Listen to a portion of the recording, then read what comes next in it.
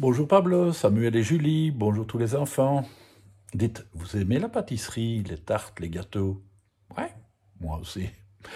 On va parler d'une histoire de pâtisserie. Le pâtissier qui fait des merveilles.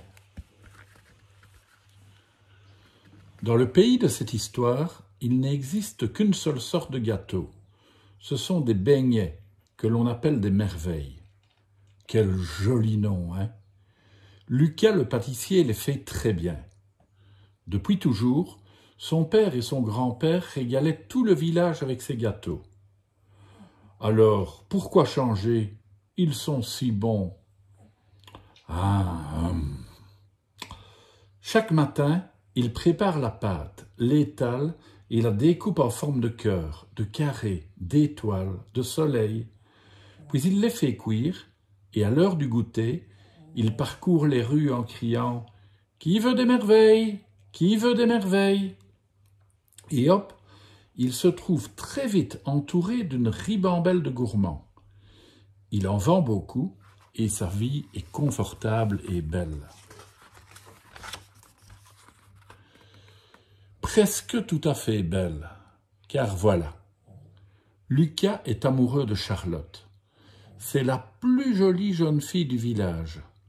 Elle aime courir après les papillons, elle aime danser le roc sous la lune, elle aime cueillir les cerises et chercher les murs, elle aime faire des ricochets sur la rivière, et elle aime beaucoup, beaucoup Lucas. Mais voilà, elle déteste les merveilles. Pouh, c'est pas bon, et puis c'est toujours pareil, lui dit-elle. Eh bien, dès aujourd'hui, ça va changer, décide Lucas.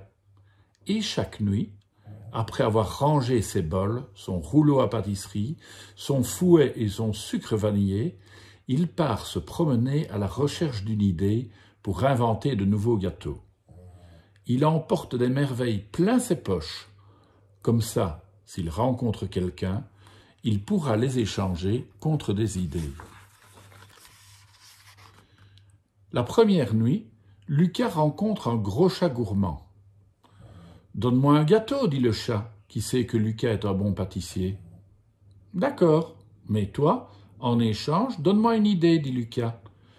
Le chat réfléchit, et de sa voix toute rouillée, il chante une petite chanson. Miaou, ça râpe et c'est doux. Miaou, ça ramasse tout. Miaou, c'est ma langue de matou, c'est ma langue de chat. Bravo et merci, dit Lucas. Ta chanson m'a donné une idée, et une fameuse idée. Il offre une merveille au matou, puis il rentre chez lui et fabrique aussitôt un biscuit, qu'il appellera, devine quoi?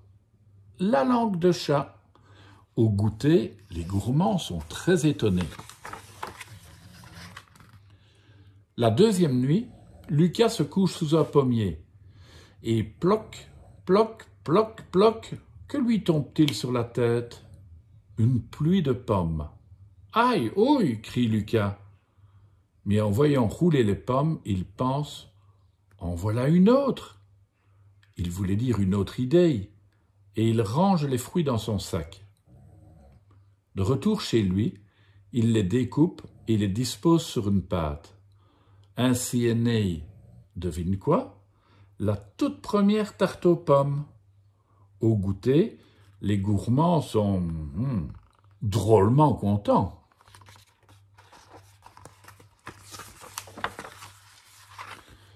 La troisième nuit, Lucas marche au clair de lune, chatouillé par un vent frais. La tête en l'air, il admire le ciel étoilé et voit passer tout un troupeau de petits nuages blancs qui gambadent comme des moutons dans le ciel. Hum, très appétissant, dit Lucas. Et en observant le ciel, il se dit En voilà une autre. Il voulait dire une troisième idée. Vite, vite, il rentre chez lui et se met à battre de la crème chantilly. Il s'en sert pour farcir six douzaines de choux à la crème, aussi ronds et légers que les nuages dans la nuit. Au goûter, les gourmands sont... mais sont... ébloui. La quatrième nuit, Lucas trouve des fraises des bois. Il en cueille un peu par-ci, un peu par-là, puis il s'assied contre un arbre pour grignoter. Et vlouf Oh Un écureuil dégringole sur sa belle toque de pâtissier. Elle est à présent toute ratatinée. Mais en le regardant, Lucas se dit En voilà une autre. Il voulait dire une quatrième idée. De retour chez lui, il se sert de sa toque toute cabossée pour faire un moule. Puis il invente cette fois un joli gâteau qu'il appelle, devine quoi, la charlotte aux fraises des bois. Au goûter, les gourmands s'en lèchent les doigts. La cinquième nuit, Charlotte accourt à la rencontre de Lucas, un filet à papillons à la main. Regarde, moi aussi j'ai une merveille pour toi. Et elle lui offre un papillon de nuit.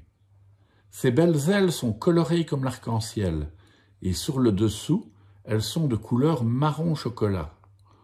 Oh, comme c'est joli Merci. Et en attrapant le filet, Lucas se dit Alors là, en voilà une autre. Il voulait dire une cinquième idée. Il rentre ensuite chez lui avec le papillon, et le lendemain, sur son nouveau gâteau au chocolat, devine ce qu'il a dessiné Des ailes de papillon avec du sucre de toutes les couleurs. Au goûter, les gourmands sont hum, Ah Tout émerveillé Et Charlotte, elle, est très très fière de son pâtissier. La sixième nuit, devine quoi? Lucas est dans sa cuisine.